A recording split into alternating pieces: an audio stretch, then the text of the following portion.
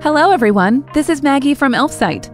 In this guide, I'm going to show you how to add before and after slider to your website. It will only take two minutes and you don't need any specific skills to do it. First of all, let's go to elfsight.com and choose the before and after slider widget in the menu list. Click Create Widget. You can find the direct link in the video description. So let's create your widget.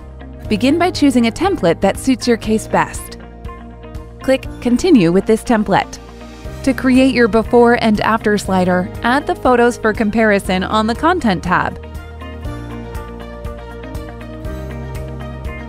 You can adjust widget configuration on the Layout tab.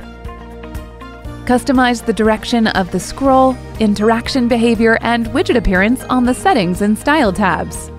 That's it! Your widget is ready! Also, you can check other settings to adjust layout, size, colors, and fonts. Click Join to install to add the widget to your website. Log in or sign up to Elfsight apps. This is free, no credit card required.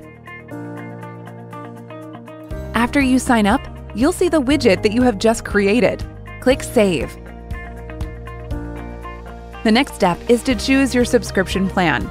You're very welcome to start with Lite, but keep in mind that your 20% discount is valid only for 24 hours. Click the code to copy it. Open the HTML file of the required page in the editor. Paste the installation code to the designated page area. Save the changes. Go to the page to check your widget.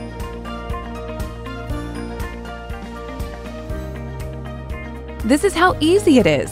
But if anything goes wrong at any stage, message us at support at elfsight.com.